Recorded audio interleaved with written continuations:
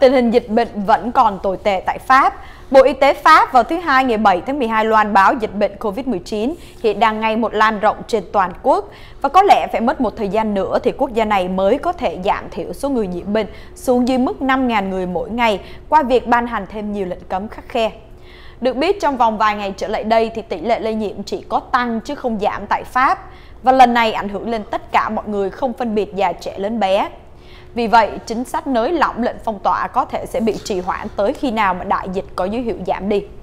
Chỉ trong vòng 24 tiếng đồng hồ tại Pháp có thêm 11.022 người xét nghiệm dương tính với coronavirus, nâng tổng số người nhiễm bệnh trên toàn quốc lên mức là 2.295.908 người, đứng hàng thứ 5 trên thế giới hiện nay.